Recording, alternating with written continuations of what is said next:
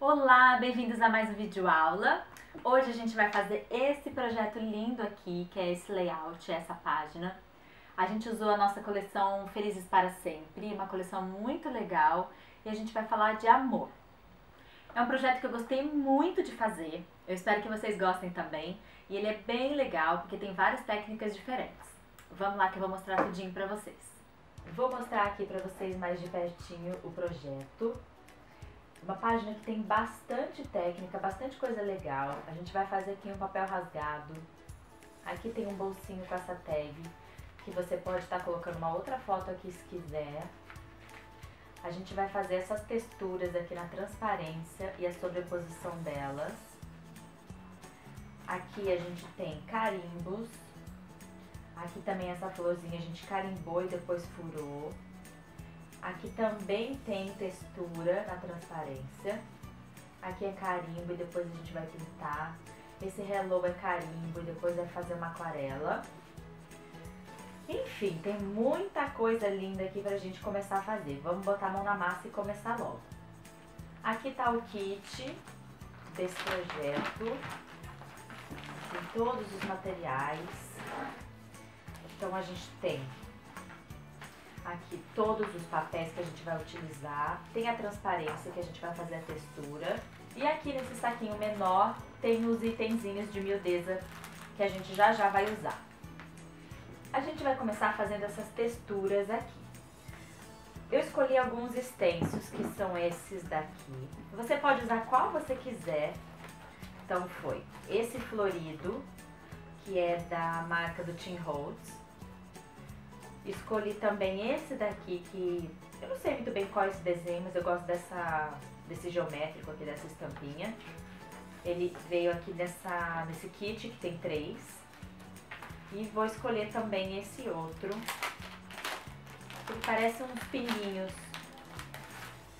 Eu adoro esse stencil. Você vai escolher quais você tiver em casa. Então, se você ficar um pouquinho diferente do meu, não se preocupe, vai ficar lindo do mesmo jeito. E a gente vai pegar aí a transparência e vou posicionar ela aqui na minha placa e colocar o meu stencil em cima. Então, com a ajuda da pasta de modelagem, que é esse material, esse aqui é da Acrylex, mas você pode usar de qualquer marca. Então, vou usar ele e uma espátula.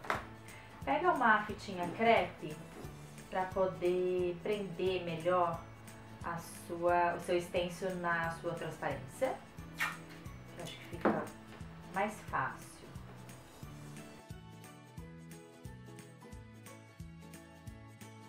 E aí eu vou pegar a minha pasta e a espátula, ó. A gente vai fazer como se fosse confeitar um bolo. E aí vai passando aqui em cima do stencil, olha. Eu adoro fazer isso aqui, acho que fica muito lindo. Você vai fazer isso só dentro da área aqui do, da sua do seu desenho, da sua textura, tá? Pra fora não precisa, senão vai sujar o resto da transparência e a gente vai usar a transparência para outra textura depois. Quanto mais lisinho você deixar, a textura vai ficar mais homogênea. Se você também fica tirando muito, o que acontece? Ela vai ficar muito fininha. Então você não precisa tirar tanto a sua textura.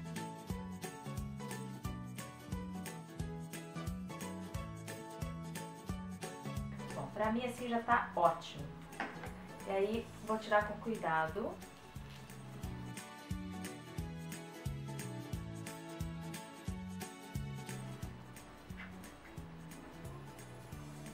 Olha que legal. Aqui tá a minha primeira textura. O stencil, depois que ele tá assim sujinho, o ideal é você lavar enquanto ele ainda tá molhado, para que não resseque depois a sua reguinha. E aí você pode colocar direto na água corrente e se tiver uma esponjinha dessas de lavar louça, aquele lado mais molinho, você pode passar com cuidado também. Agora a gente vai fazer aqui esse florido. Eu vou encaixar ele aqui nessa posição para ter o melhor aproveitamento.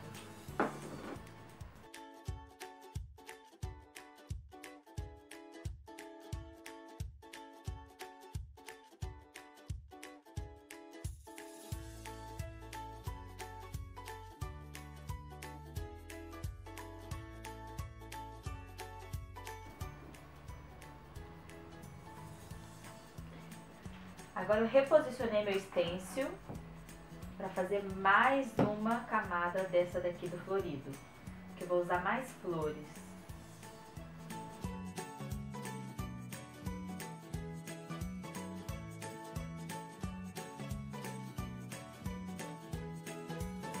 Tirar com cuidado de novo. Aí eu tenho aqui, nessa folha, dessa transparência, já três opções de texturas diferentes. Tiro com cuidado.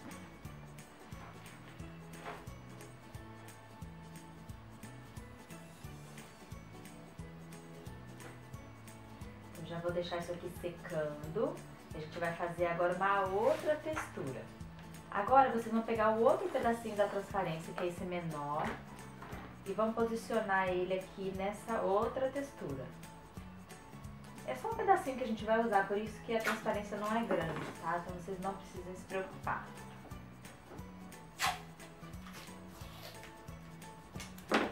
Vou colocar essa fita até pra, pra eu saber que é só nessa área de, de cima que eu vou fazer. Aqui eu tenho outro material dessa marca Nuvo, que é um mousse. Ele lembra uma pasta de modelagem, só que ele tem uma textura um pouco diferente. Ele é mais durinho. É um material muito legal, porque ele tem um brilho já, ele parece um carvãozinho, olha. Se você não tem esse material, o que, que você pode fazer caso você queira a pasta de outra cor? Você vai pegar sua pasta de modelagem, vai colocar num potinho e vai misturar com tinta. Pode ser qualquer tinta tinta base de água, tinta acrílica, qualquer uma. Você vai misturar e aí você vai ter a sua pasta de modelagem colorida. Então você pode fazer um tom assim mais escuro, mais preto. E aí você vai passar aqui para fazer a sua textura de outra cor.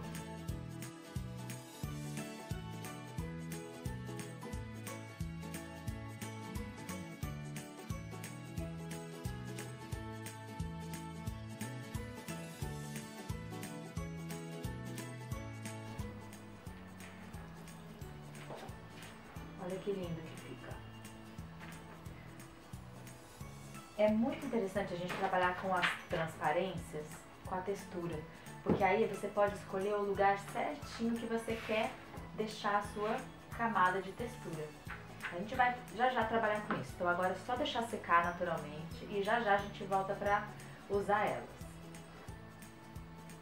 Agora a gente vai pegar essa folha aqui, que é a nossa base ela tem essa marquinha aqui do fabricante, que você pode tirar. Essa folha é da nossa coleção toda básica.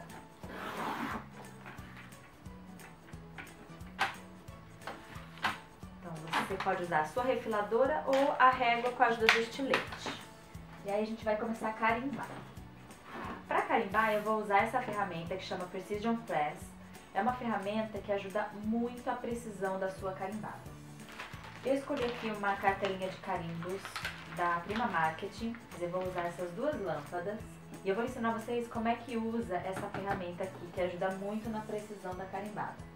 Primeiro você tem que posicionar o seu carimbo onde você quer que ele fique. Eu vou querer carimbar aqui, ó, essa lâmpadazinha mais comprida do lado esquerdo e do lado dela essa outra menor. E aí você vai encaixar aqui na sua ferramenta encaixei o meu papel, ele tá bem alinhado aqui no ângulo. E aí coloquei o meu carimbo na posição exata que eu quero que ele fique. Aí eu desço a minha ferramenta e o carimbinho já grudou. Depois é só passar a tinta. Eu vou usar a minha carimbeira Memento na cor preta. Eu vou usar Memento porque depois quem quiser pode colorir com os marcadores Copic. Então, para você pintar com a canetinha Copic, precisa ser a Memento. Então, molhei aqui direitinho, vou virar, e aí você pode pressionar. Eu acho mais fácil pegar um lencinho e passar assim, ó. Ele fica mais fácil de deslizar o meu dedo. Quando eu levanto, já está pronto e carimbado. Se você quiser, por exemplo, ele mais forte, é só você pegar um pouquinho mais de tinta passar de novo no mesmo lugar. E é muito importante o seu papel não ter andado, ó. Ele está posicionado exatamente como ele estava nesse ângulo. e aí você volta e carimba mais uma vez. Olha, ele ficou mais pretinho, tá vendo? Tá perfeito desse jeito aqui. Agora é só você limpar o seu carimbinho, pode ser com lencinho umedecido ou na torneira. Agora a gente vai carimbar esse hello. No meu processo criativo, eu comecei fazendo essas bases aqui, no papel rasgado, para depois chegar desse lado. Mas como a gente está fazendo agora a reprodução desse projeto, eu acho que é mais fácil a gente já carimbar esse hello nesse momento. Então, olha só, tá vendo que aqui eu já carimbei as duas lâmpadas. Eu vou usar esse meu outro carimbo aqui, é, Hello, que é da marca Kaiser Craft.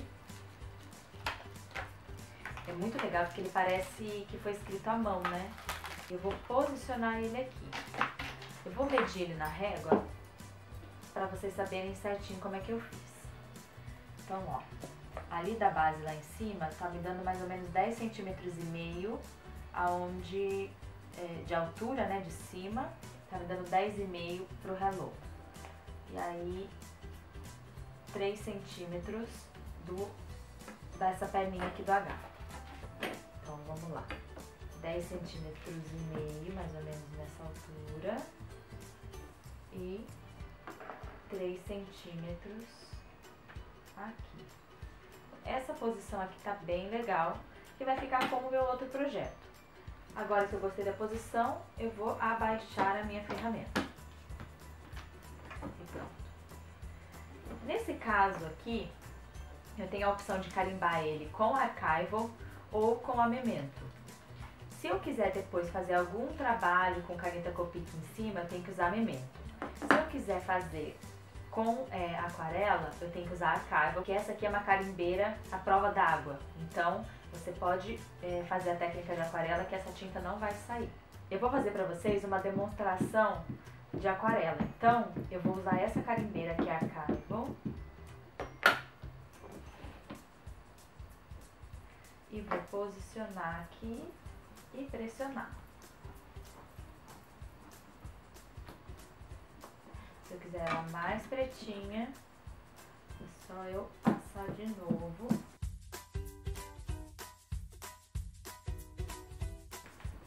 ficou bem pretinho. Agora já vou mostrar pra vocês a aquarela. Esse carimbinho aqui também é bom lavar. Eu vou utilizar agora essa minha caneta que chama Aquaflow. Essa daqui é uma canetinha como se fosse própria para já fazer aquarela. Então ela tem a tinta e a água já dentro dela. Essa outra aqui é a Copic, é a marcador Copic.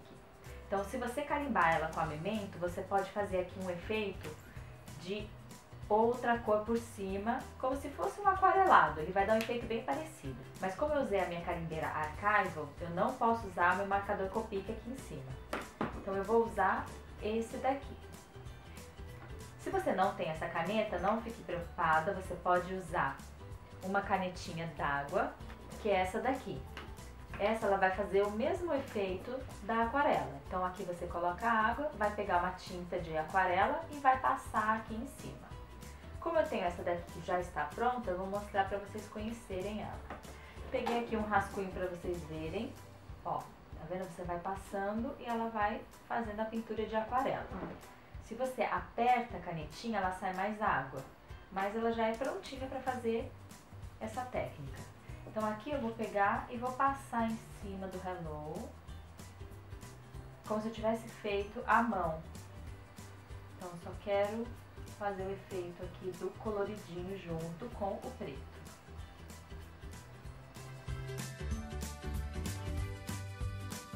Tá vendo que a tinta preta não sai, não mistura também. Então ela fica ali bem pretinha e a gente consegue passar essa canetinha de água em cima e não tem problema nenhum, ó. Porque a gente usou a carimbeira correta para fazer essa técnica. Olha, eu quero um efeito assim bem delicado. Pra mim já tá pronto. Então lembrando, se você não tem essa caneta, que é uma caneta bem difícil de achar inclusive, você pode usar a sua canetinha de água, que é essa própria para fazer técnica de aquarela. Aí você vai pegar ou canetinha, lápis de cor, é, aquelas paletas de próprias para aquarela, você vai molhar um pouquinho na água e vai passando aqui você vai ter um efeito bem parecido.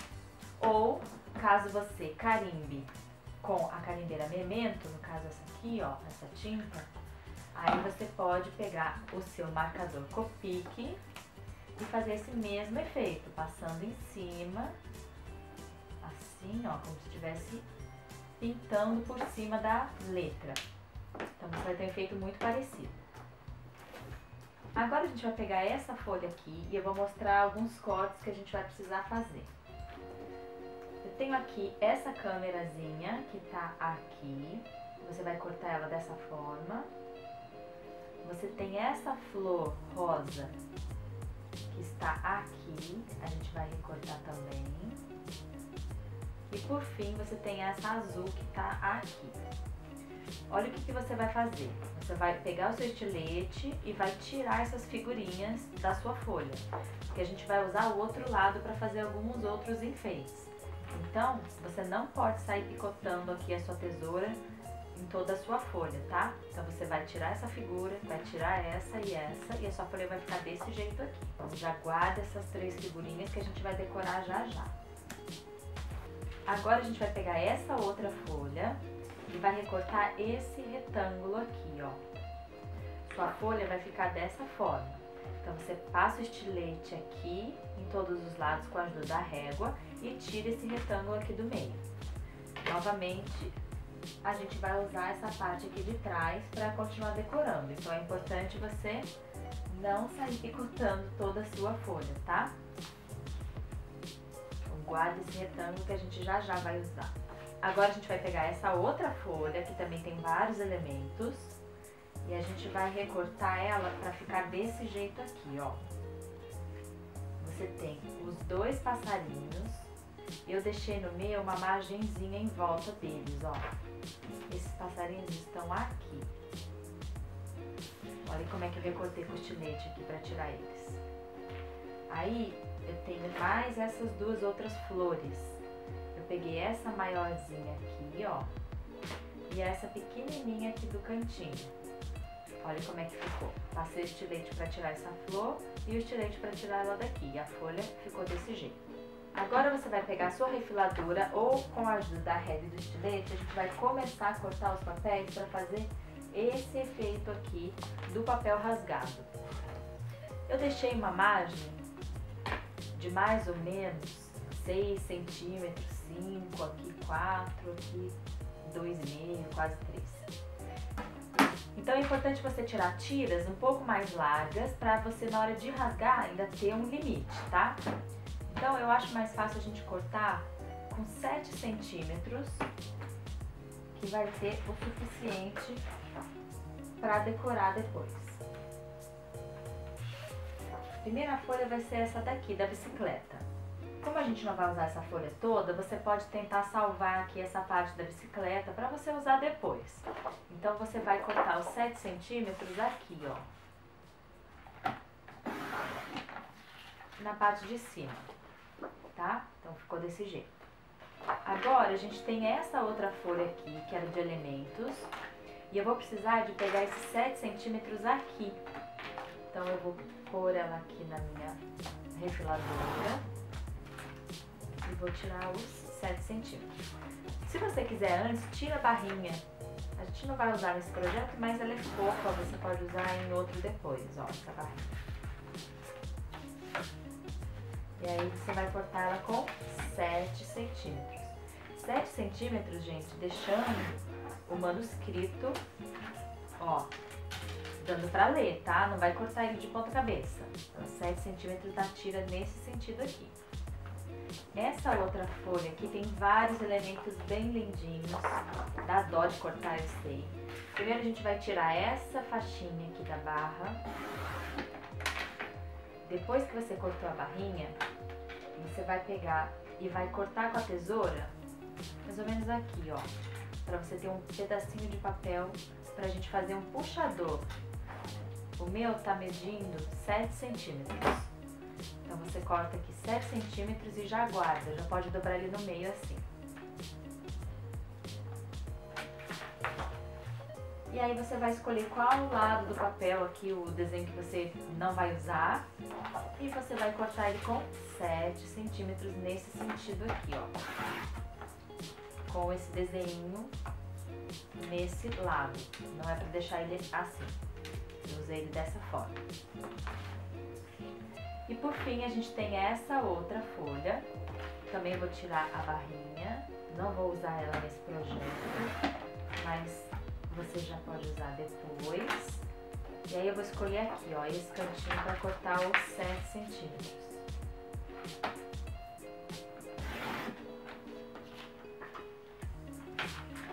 Esse pedaço aqui sobrou.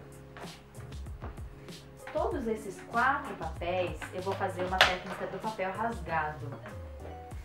Então, o que, é importante você saber dessa técnica?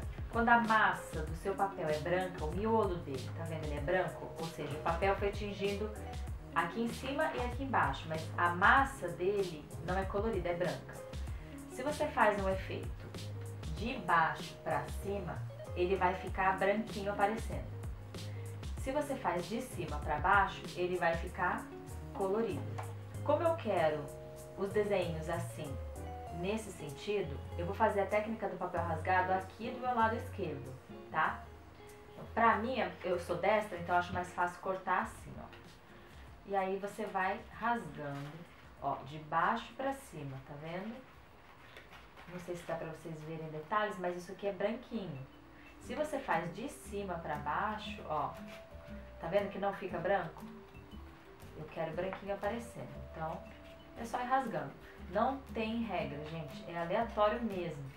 Papel rasgado é uma coisa bem simples, mas vai dar um efeito lindo.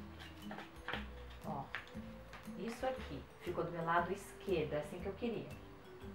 Mesma coisa, eu quero do meu lado esquerdo aqui nesse manuscrito. Então, vou virar o meu papel e vou cortando.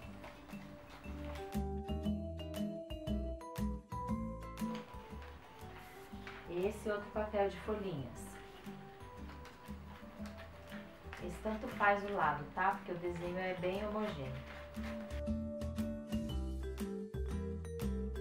Por fim, esse xadrezinho que também não faz diferença se você vai rasgar do lado esquerdo ou direito. Esse dá pra ver bem, ó, o papel branco, tá vendo? Agora que a gente já cortou todos esses papéis, a gente já vai colar aqui na nossa base. Já tá ficando lindo assim, eu tô adorando. A primeira que a gente vai colar vai ser essa do xadrezinho. O que, que é importante vocês saberem agora? Se forem seguir a mesma base que eu fiz aqui pro meu, eu deixei mais ou menos 5 centímetros e meio do xadrezinho. Quando a gente rasga é livre, então a gente não tem muita noção se tem mais é, de 5 centímetros e meio. Então você vai posicionar na sua placa de corte e vai contar mais ou menos aqui, ó. Tá vendo? 1, 2, 3, 4, 5 centímetros e meio.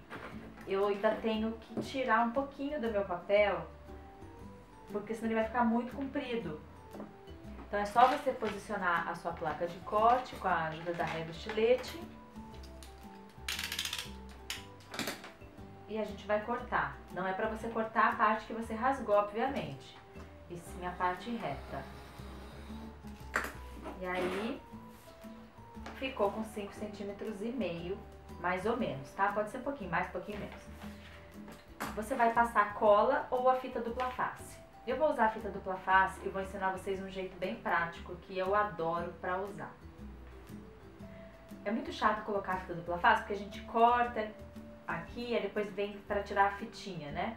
Então aqui o que, que eu faço? Eu seguro a minha ponta, aqui tá minha colinha, ó. Tá vendo essa pontinha aqui eu não perdi. Aí eu vou posicionar aqui, ó, solto a minha fita, estico bem.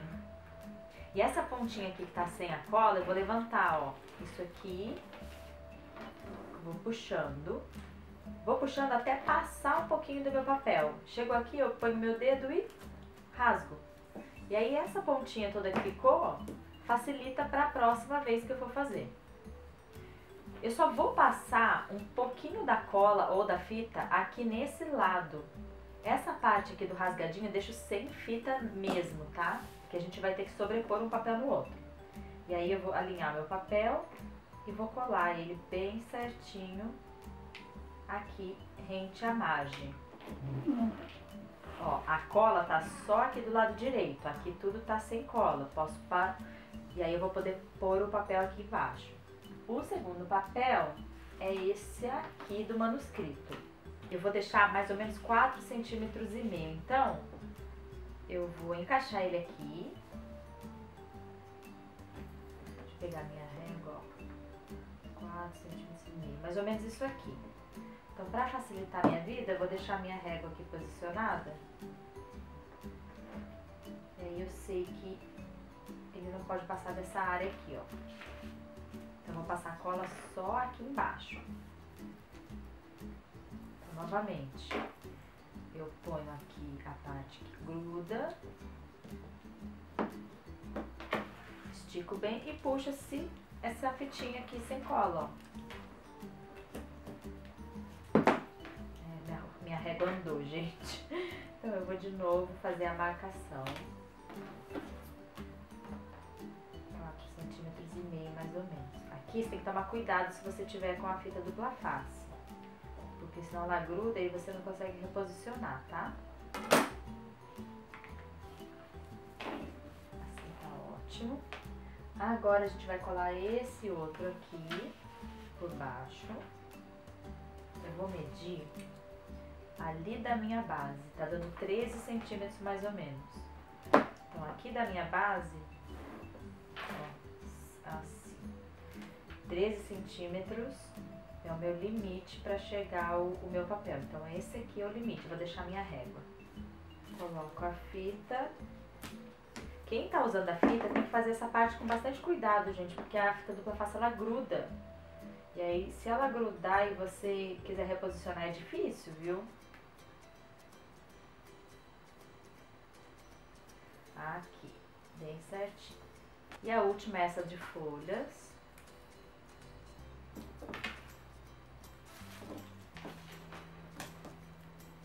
Eu vou ver aqui o tamanho que eu quero.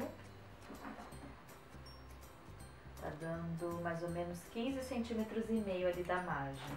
Então, já posiciono aqui para eu não me perder.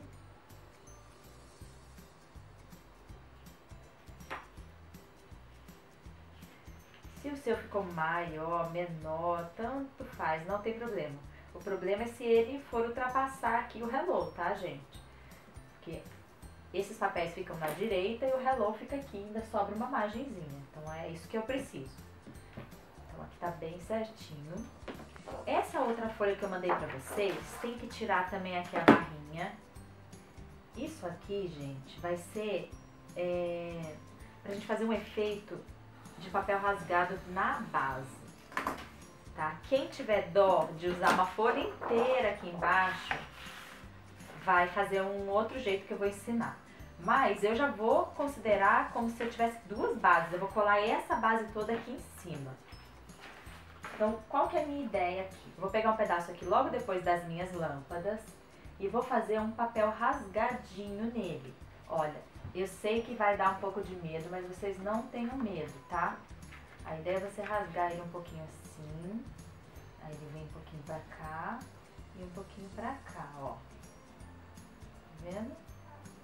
Não tem um jeito certo um jeito errado, tá, gente? O importante é você fazer esse rasgadinho para poder mostrar esse papel de baixo. Ó, como a gente vai colar aqui, ele vai ficar desse jeito aqui, aparecendo. E a mesma coisa eu vou fazer aqui embaixo. Aqui embaixo.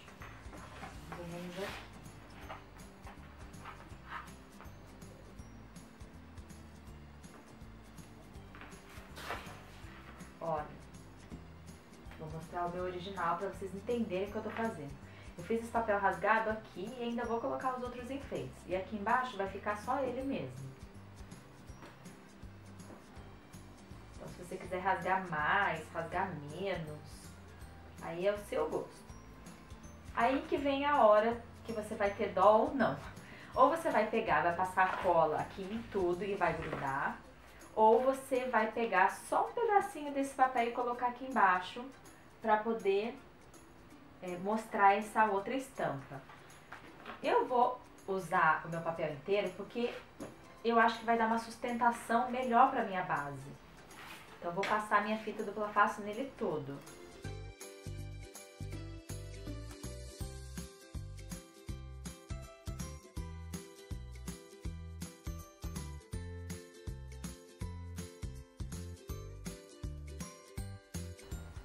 Volto a falar, quem usa fita dupla face, cuidado, porque se você posiciona e não fica certinho, não dá para tirar depois.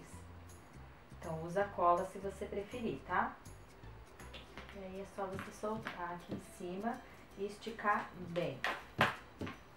Ó. Isso permitiu também que a minha base tem muito mais resistência agora, tá? Então vamos desapegar do papel, não fazer economia, porque essa hora é uma hora importante o seu papel ficar com uma base mais firme. Feito isso, a gente vai agora partir para as nossas fotos. Então vamos fazer esse tapetinho de foto aqui. A gente vai começar fazendo um tapetinho com esse papel aqui de bolinhas, tá? Então desapega desse lado. E agora é importante vocês fazerem o corte do jeito que eu vou fazer, senão depois não encaixa aqui o aproveitamento dos papéis, tá? Então vamos lá, vou colocar o papel nesse sentido aqui e vou fazer o primeiro corte com 12,5. Pode usar o seu estilete com a régua se você preferir. 12,5, aí eu vou virar e vou cortar com 22. Esse pedaço aqui não vou usar, tá? E aí esse outro aqui que sobrou, a gente vai fazer um corte de 10,5 por 11,5. Então, primeiro aqui 10,5. Vou virar por 11,5. E aí eu tenho esse outro pedacinho aqui. Agora eu vou pegar essa minha folha clara, vou fazer o primeiro corte de 21,5. Então, vou pegar toda essa parte clara aqui, ó. Vou tirar as flores, tá vendo? 21,5. Aí eu vou virar e vou fazer por 12. Não tem problema você pegar essa folhagem aqui, ó. Tá? O papel vai ficar com essa folhagem aqui mesmo. Então, 21,5 por 12. E esse pedaço que sobrou, você vai fazer 10 por 11. Então, aqui 10 por 11. Ele vai ficar assim. E aí, é só colar o papel clarinho em cima do escuro desse de bolinhas. Pode usar a fita dupla face ou a cola.